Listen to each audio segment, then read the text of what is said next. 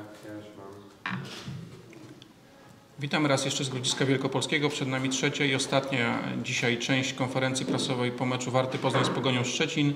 W czwartej kolejce PKO Bank Polski Ekstraklasy. Wynik 2 do 1 dla drużyny gości. Jest z nami Adam Zrelak.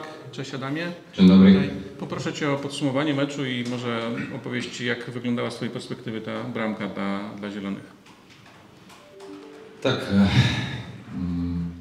do meczuśmy byli przygotowani i e, chcieliśmy po prostu w domu e, zdobyć trzy punkty i wiedzieliśmy, co przeciwnik będzie grał i na początku meczu to wyglądało dobrze, potem e, właśnie wiedzieliśmy, że, że Pogoń będzie ze strony e, wrzucać i e, będą robić przewagę i na to my byli przygotowani, ale dostaliśmy tu pierwszą bramkę, gdzie byliśmy 7 na 2 i tak to spadło, no i właśnie z tego jednego strzału strze- strzeliliśmy bramkę, bo ten drugi był samobójczy i myślę, że w tej pierwszej połowie my zostali trochę zaskoczeni z tego, ale em, myślę, że w drugiej połowie my wyszli z tym, że, że chcemy, chcemy z tym meczem coś zrobić i e, zdarzyło się nam to po troch minutach e, dać, dać bramkę, no i mm, myślę, że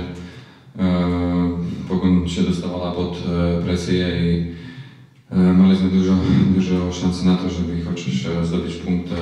Nie zdarzyło się to i musimy patrzeć do przodu i tak, moja bramka mnie cieszy, ale nie dała te punkty i jak napastnik jestem tam do tego, żeby, żeby te bramki strzelać.